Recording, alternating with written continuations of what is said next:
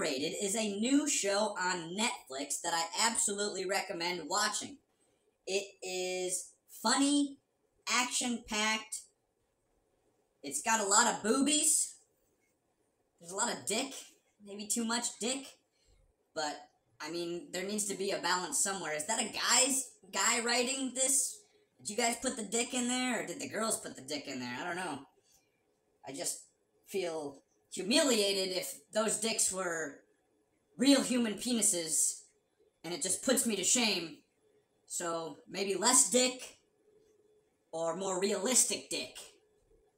I don't know. I'm just kind of spitballing and kind of coming up with ideas as I go. But the titties are great, and you can purchase my new volume of Poetic Justice and Theory Modern Propaganda for the Free World and read my general theory of big titties, which is very descriptive of why we humans enjoy breasts.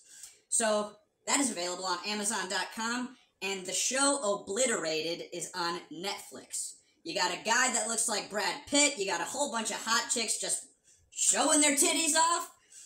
This show is gonna go the long distance.